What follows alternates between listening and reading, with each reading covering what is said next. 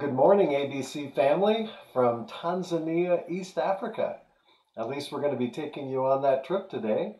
And we want to be praising God for the trip that we were able to take in March. Uh, we are so thankful and so blessed uh, because you were with us on our team, you were supporting us, your financial gifts, your prayer support.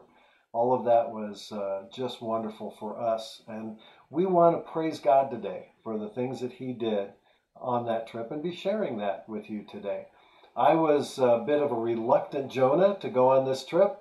Uh, at first, I thought just Mary was being called and I was going to stay here and uh, just watch the church and so forth. But it turned out that God wanted me to go and I needed to hear his voice and respond to that call. Uh, it was it was a little scary, a little uncomfortable uh, because of the things that we might be asked to do. And also, uh, the team, I thought I would just go then and be a part of a larger team, but the team uh, mm. pared down, and pretty soon it was just our leader, Alex, and Mary and I going on this trip. And God wanted it that way, I think, so He would get all the glory.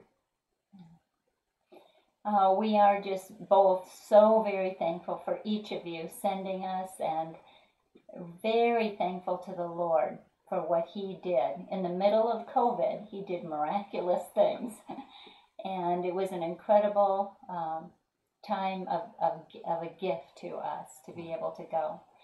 Um, for me, I was very excited to go back to my uh, home where I grew up in Tanzania but at the same time, because of family things that have taken place in these last few years, it was rather a difficult decision. But God was definitely nudging me, and I said yes, but I went with a lot of fear and trepidation, just like Paul spoke about in 1 Corinthians 2 1 through 5, and said I go with, you know, weakness and fear and trembling and without persuasive words. But then he says, I go in the Spirit's power. And the Lord kept impressing the, that on me Mary, it is me who is going to work in and through you. Um, so we had a big marriage seminar to do, and that's not something I really was excited about. but he went ahead of us and he did miraculous things. So we want to share some of that with you. And if you'd like to join us on that journey, you're going to see some awesome pictures. And here you will see a map, and uh, this is Tanzania. It's on the southeast coast, and uh, we were about one hour inland. Uh, if you look at the blue part there, we're about an hour inland from there.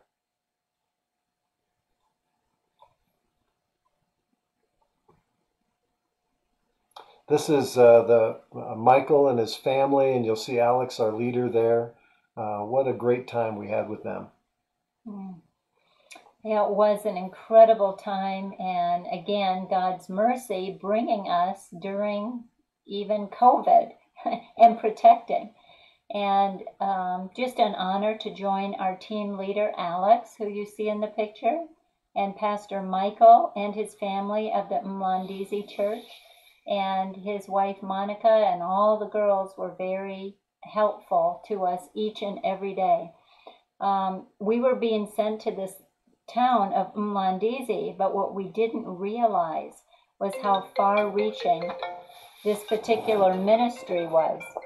So, Pastor Michael is completely dedicated to the vision and passion God gave him for the Muslim community where he himself came out of an Islamic faith.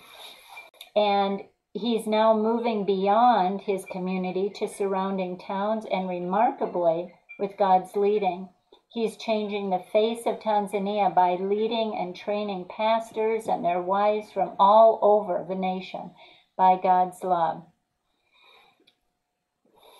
And uh, again, this is just Pastor Michael and our leader Alex uh, from the Save the Nations. As he started that this last year, it was great to partner with these men of God.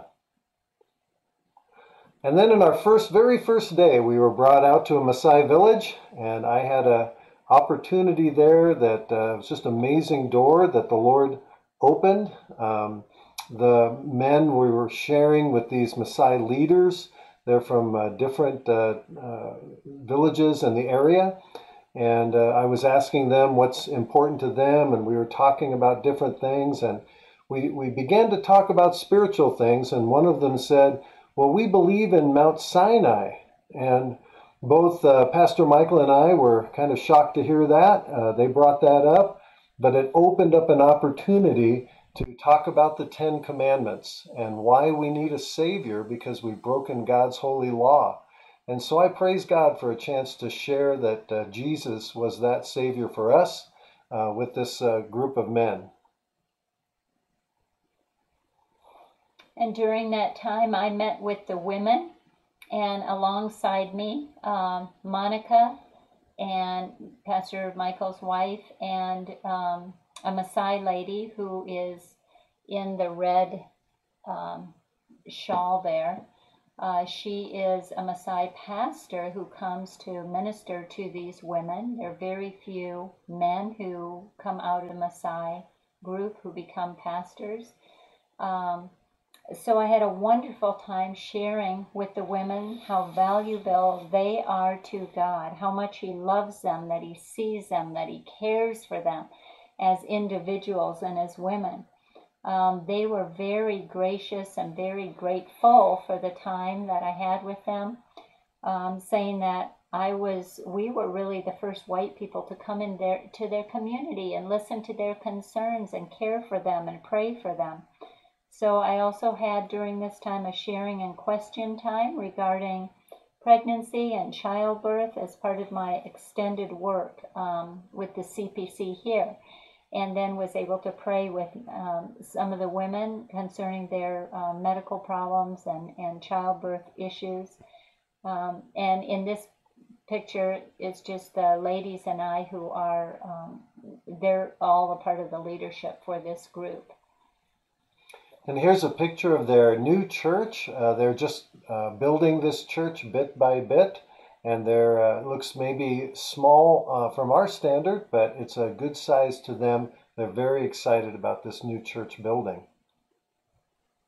Then they took us uh, also for a meal. Uh, uh, one donor for our trip had specifically donated uh, so that we could pass that on, and they purchased a goat for us. This is a goat meal. They roast it, and you can see that the table is really the leaves on the ground and uh, the leader there was cutting uh, the, the goat piece by piece and handing it to each person one by one. So it's a very communal way to eat together. The very next day, we were uh, uh told that there were going to be baptisms, and uh, we were excited about that. And then Pastor Michael said to me, Well, Pastor John, I want you to do the baptizing tomorrow.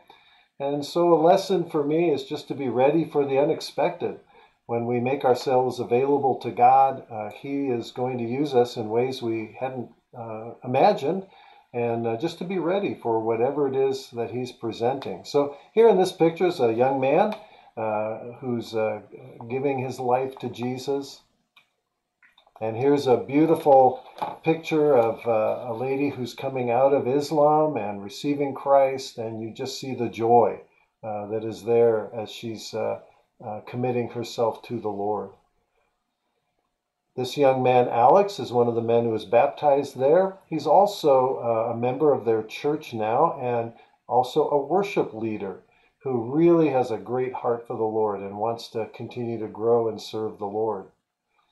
And here you see Pastor Michael's church, the Community Life Church. There's our leader, Alex, there. And Alex, uh, in, in uh, leading our team, did a lot of sharing, teaching. His gift is in teaching and raising up leaders. Uh, that's uh, his vision. And so there were several times on Sundays and during seminars that Alex was sharing and, and teaching. Also, we had wonderful translators that did a great work of translating for us.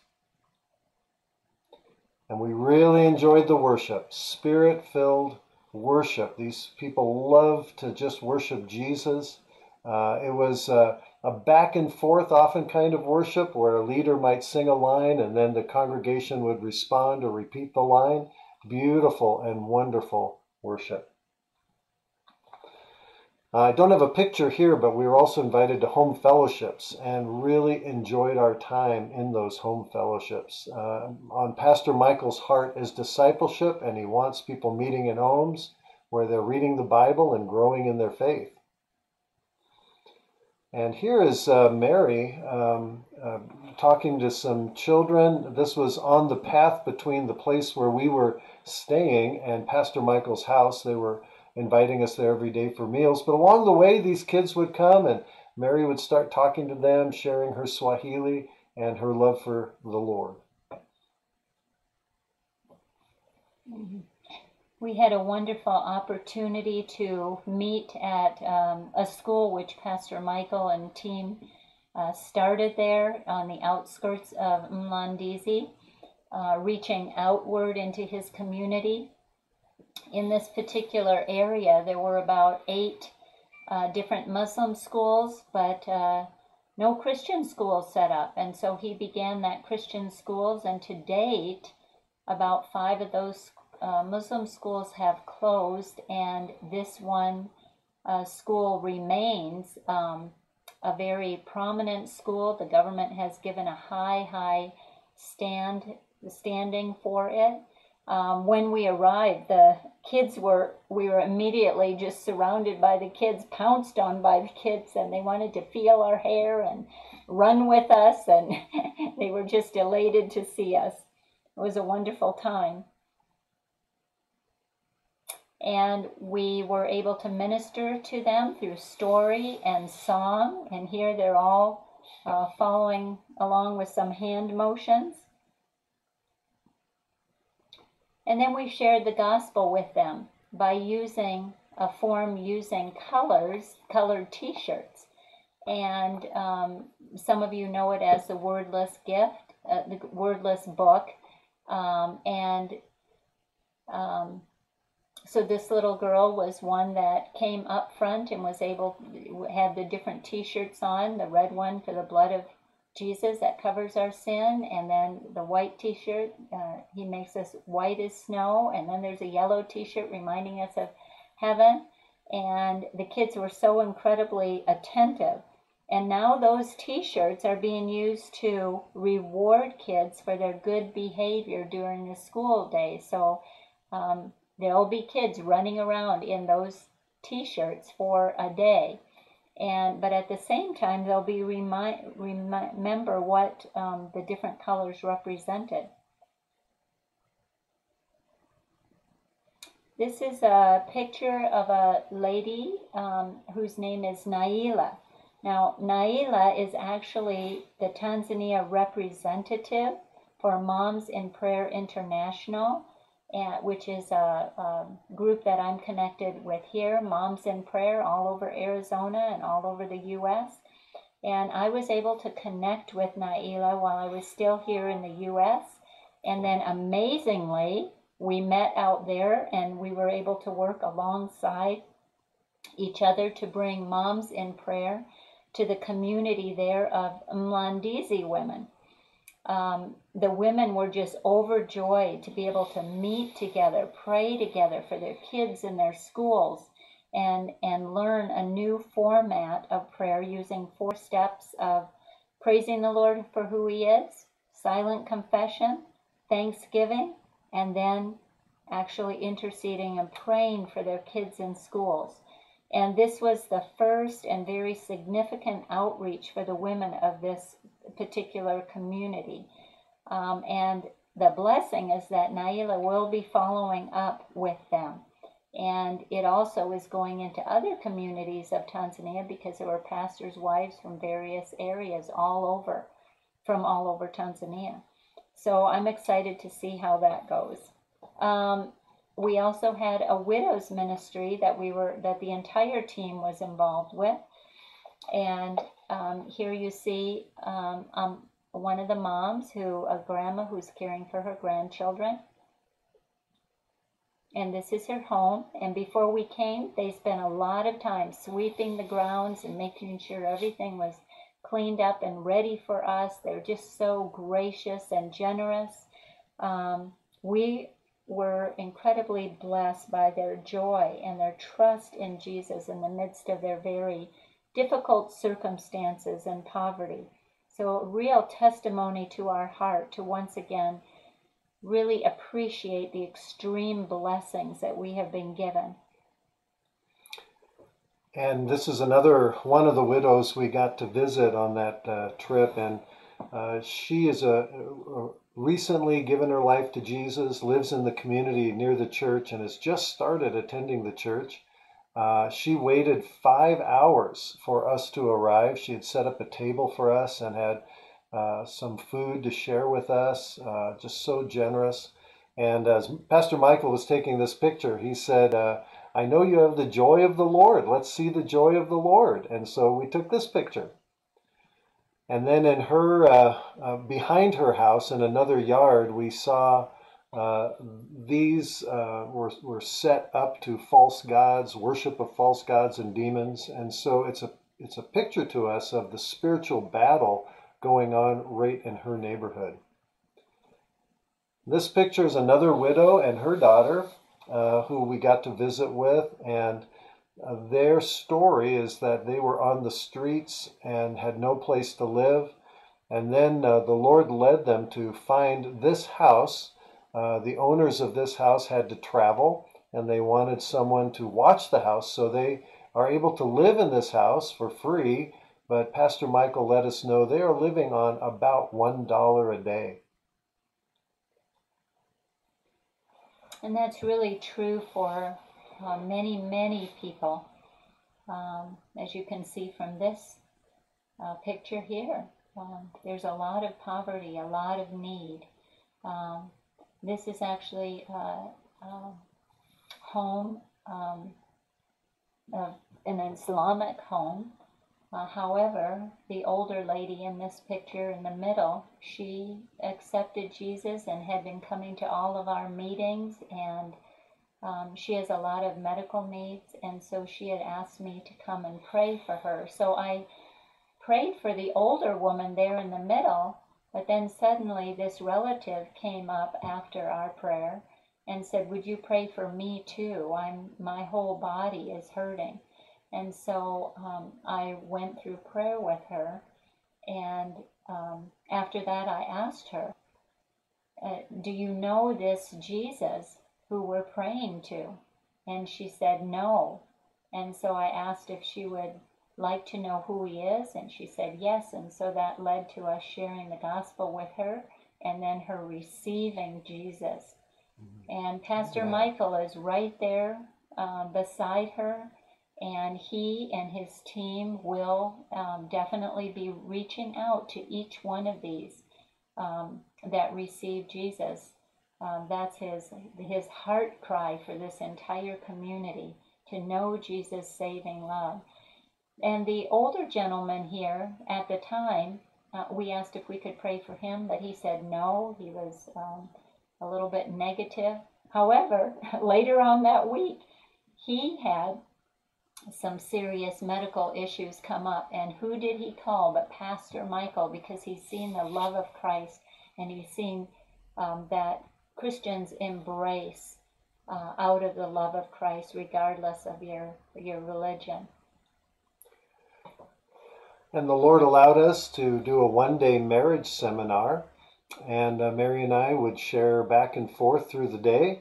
Uh, the Lord gave us uh, what He wanted us to share. We used a, a, SALT series on marriage that we had used here in the church before. Uh, Pastor Michael had invited uh, many pastors and leaders and pastors' wives from around Tanzania because of his heart that they would have uh, good, healthy marriages and to bring back to their churches. Also, a, a leader seminar that we were able to do for two days. Um, and then in this, uh, for those two days, um, Alex and myself would go back and forth uh, teaching uh, and sharing different uh, sessions. And in this session, um, I had just shared about the 30 Days of Discipleship, uh, the same book that we had gone through at our church. And they were very excited about that. I uh, translated the lessons, uh, some of the lessons into Swahili just so they could see the verses. And we asked them to do a lesson, and here you see them doing that. They're so excited about this material that they now have translated the whole book, uh, and it now has already gone out into several fellowships at Pastor Michael's church, and also the pastors here have taken it back to their churches. And it's great to see the fruit as uh, God is just blessing uh, this um, this seminar that we were able to bring there. And I would add to that that um, there was a pastor in this group that was from Madagascar, and Madagascar is about 80, uh, 98% uh, Muslim. And so um, the heart of Pastor Michael and, and this pastor is to reach that community with the love of Jesus and let them know that their sin can be forgiven because of God's shed blood and that they can receive eternal life in Jesus' name. And here's Pastor Michael with a pastor in his church, uh, Paul, and he is uh, uh, very that same night that we presented it. He's there with Paul, sharing how he can use or training Paul to use this discipleship material. So our time was incredible. We felt incredibly blessed. We felt incredibly loved by this community. Um, what incredible, uh, gracious hearts and, and joyful in the Lord these people are. So in this picture, this is the last day we were with them. Um, they gave us a Tanzanian blessing. And I uh, have a, the piece of material you see there at the end is the one that they brought up for us, and the other one was for Alex. And along with song, they came up and wrapped us in this while the entire church joined in in praising the Lord. And on our last days, we were getting to, to leave Mlandizi. We had a chance to visit Pastor Michael's brother uh, Anthony, and he's showing us here his uh, shop. Uh, this is uh, how he's making a living, and uh, his uh, wife is a nurse as well. And they, the vision is that he would be able to save enough to get trained, get Bible training, and to be a pastor himself. And then God gave us a chance to visit yet another missionary couple, and uh, this uh, this missionary uh, went to the same school as Mary. Yeah, this is uh, Steve and Bethany. Uh, Steve is a doctor, and Bethany works um, alongside him with the Maasai people. Um, uh, we're going to the next picture. Here you see a picture of some of his work um, in Maasai land. It's a very um, simple clinic, and yet he says it's simple, but it does everything he needs. You can see the mosquito nets there. mm-hmm. um, but in this situation, there was a young man who'd been bitten by a snake, and so he had done some surgery there, and the family was there visiting with him. There was also another man who had had malaria. Hmm. Um, here you see one of the uh, Maasai homes in the community. You might notice the smokestack there. They, those have not always been there. Uh, in previous uh, years, these uh, uh, homes would be filled with smoke. It would be bad for the kids. They might get burned. And so Bethany and Steve uh, found this unit. It's a, it's a stove that can be put into the home. And um, it obviously the smoke goes up and out. They're able to cook. It's much safer for the family. And uh, now there's over a hundred homes in that community that have this. Oh, um, this is a picture of a new uh, baby that was born. And so Steve also delivers babies. And so he asked if we would like to go and visit this uh, new young mom.